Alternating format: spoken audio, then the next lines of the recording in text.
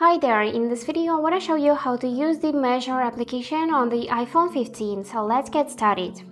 Firstly, let's find this application, it looks quite like this, so let's open it. And now I'm gonna take my toy as a first point and just point camera at this toy and then tap on the plus. And now we can just move the phone for the box for example and also tap the plus to save the changes. And now you can see the length. If you tap it, you'll see it in centimeters as well.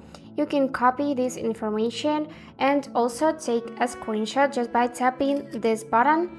And also you can crop it right away and save in your gallery. So this is really perfect if you don't know your size of shoes for example you can just take um, measurement of your feet and know the correct size and just copy this information and then use it in any shop.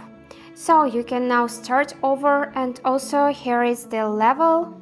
You can see the degrees and move your phone, which is quite fine. And now you can move it again to start another measurement. And if you did something wrong, you can clear it right away using this clear button. And that's it how it works. I hope this video was useful for you and thank you so much for watching.